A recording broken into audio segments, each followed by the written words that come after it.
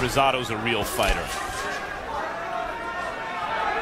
Oh, good right hand on the uppercut. Rock back Rosado. He didn't see that one, fellas.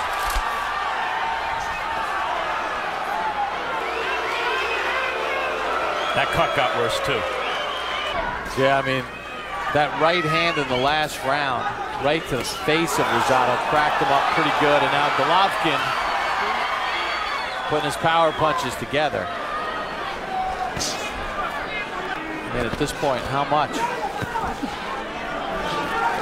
He's throwing back some punches, peppering him with shots. And of all the guys to have to go through this against. Oh, and there, the corner, they're, they're going to. Kino, I gotta stop it, man. Rosado stopping. Kino, I gotta stop it. His son's gonna die, man. They throw in a towel. Inspector, the Rosado corner, did the right thing. They asked the inspector to step up to the top of the ropes and stop it.